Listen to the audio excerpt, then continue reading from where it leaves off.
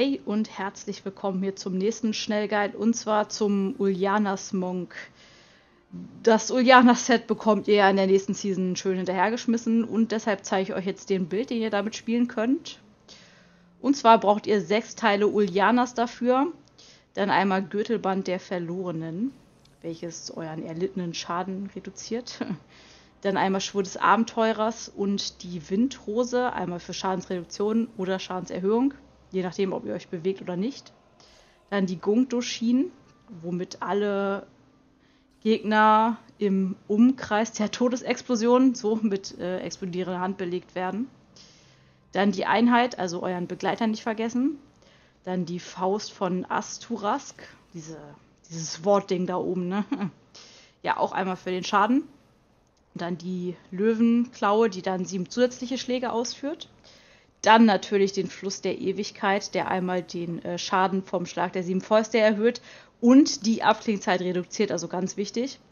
Dann die Geisterschellen, einmal auch für Schadensreduktion und die Zusammenkunft der Elemente, wenn wir dann unseren Kälteschaden-Bonus haben, dass wir dann auch 200% mehr Schaden machen. Dann zeige ich euch noch mal kurz die Fertigkeiten. Und zwar habe ich den Weg der 100 Fäuste mit Assimilierung, was ihr aber auch gut benutzen könnt, ist die lebende Woge mit Tsunami. Davon wird auch einiges getroffen. Also könnt ihr mal ausprobieren, was ihr lieber mögt.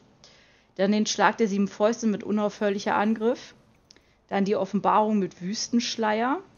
Ganz, ganz wichtig, die explodierende Hand mit drohendes Verhängnis, damit auch Eishände über euren Gegnern sind und die Eisexplosion stattfinden kann. Wenn das nicht der Fall ist, dann solltet ihr nochmal nachgucken, woran es liegt. Dann der Zyklonschlag mit dem Windwall der rasende Angriff mit feuriger Glanz. Und in den Passiven habe ich den mythischen Rhythmus, den, den Fanal von, oder das Fanal von Ita, auf jeden Fall den, also Fanal von Ita, so. Die Gelegenheit beim Schopfe packen und Harmonie. Dann noch mal kurz zu den Details. Und zwar Wert Nummer 1 beim Uli-Mönch ist der Flächenschaden, weil ihr wollt ja, dass alles in einer Eisexplosion endet. Deshalb der Flächenschaden so hoch wie es geht. Als nächstes folgt dann schon die Abklingzeitreduktion, weil ihr ja euren Schlag der sieben Fäuste so oft es geht einsetzen wollt. Deshalb solltet ihr die auch ziemlich hoch bringen. Höher als hier. Als nächstes solltet ihr darauf achten, Kältefähigkeiten verursachen mehr Schaden, dass ihr das auch drauf habt. Wo es geht, auch noch äh, Schlag der sieben Fäuste, also der Schaden davon erhöht. Und wo ihr bei den Waffen auch darauf achten solltet, was ich jetzt zum Beispiel nicht habe, dass die Flächenschaden haben und Cooldown Reduction, also Abklingzeitreduktion. So, jetzt könnt ihr hier erstmal schön sehen, Offenbarung ist schön an, müsst ihr schön drauf achten. Dem Zyklonschlag könnt ihr schön Leute ranholen und hier könnt ihr schön durch die Gegend sliden. Jetzt hier meine lebende Woge wieder mit reingenommen. Und mit Rechtsklick, wenn hier alles schön belegt ist, explodiert hier alles so schön. Ich habe hier schon den Spaß meines Lebens, ne? Also es ist einfach super geil, ne?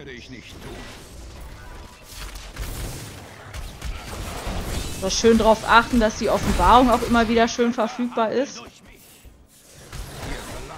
Oder schön die Gegner an sich ranziehen. Alles mit der Hand belegen und die Explosion. Wenn der PTR nicht ganz so schlägen würde, sieht das noch ein bisschen geiler aus. Und alles weg, ey. Ja, ich kann eigentlich nur noch wünschen, viel Spaß beim Nachbau. Ne? Wenn ihr irgendwelche Fragen habt, einfach drauf los. Jo, und damit ciao und ja, bis zum nächsten Schnellguide.